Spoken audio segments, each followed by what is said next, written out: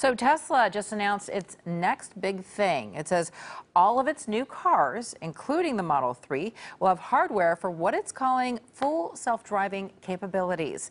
It includes eight cameras with 360-degree viewing at up to 820 feet of distance, 12 ultrasonic sensors, and new forward-facing radar that helps see through rain, fog, and dust. Tesla says it still needs time to get all the kinks worked out before fully turning the controls over to a computer. And Tesla might want to move over because the company has some new competition in Silicon Valley. As Night Beat's Len Ramirez shows us, you might not recognize the name, but it is about to become a major player in the electric car industry.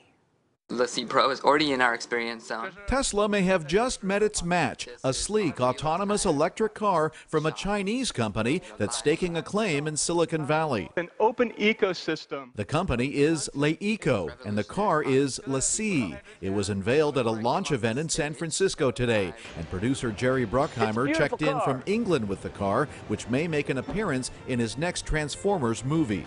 Look at the interior. It's, it's great. I mean, you could sleep in there. Now, LeEco is transforming Silicon Valley. The company, which has a small foothold in San Jose, plans a major U.S. expansion that could create 12,000 new jobs in Santa Clara. It's like adding another Apple computer or another Google or LinkedIn right here into uh, Silicon Valley. The company will build a new 3 million square foot research and development complex on 48 acres, now used as a parking lot for Levi Stadium. The land was once owned by Yahoo, and now that it has changed hands, it represents another step in the continuing evolution of Silicon Valley. It's part of a growing Chinese presence in the valley and brings competition for American companies to their own turf. The company is a major player in TVs and smartphones. It has a movie studio and a streaming online service. Many people would say, oh, that's bad for Silicon Valley, but it's actually good because competition breeds innovation. LeEco has already bought Irvine-based Vizio TV, and although it may not be a household name in the U.S. yet,